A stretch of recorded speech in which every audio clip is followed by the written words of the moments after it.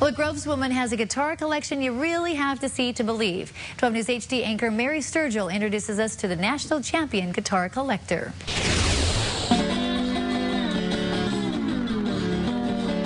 Music has always been a part of Betty Williamson Hickman's life.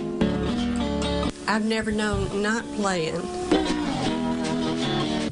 I was in our church orchestra with a little ukulele when I was, I know, no bigger than two years old. In 1998, Betty became the steel guitar national champion by strumming to her own tune with her completely unique style. But I don't want anybody's licks. Uh, mine just come straight from him.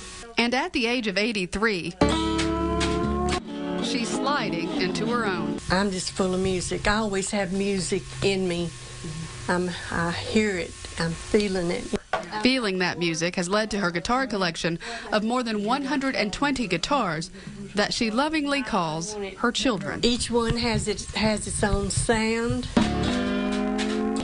its own feel. And each one also has its own story. I had asked the Lord to give me one of those, and I went to the uh, Dallas uh, Steel Guitar Convention. I looked all over that place. There wasn't a tricone there that didn't look like a beat up tin can, but they still sounded beautiful.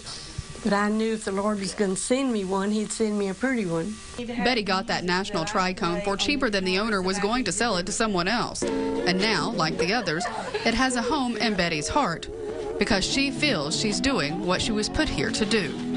Because He said to me, play my music. I was born to play. That's my purpose in life.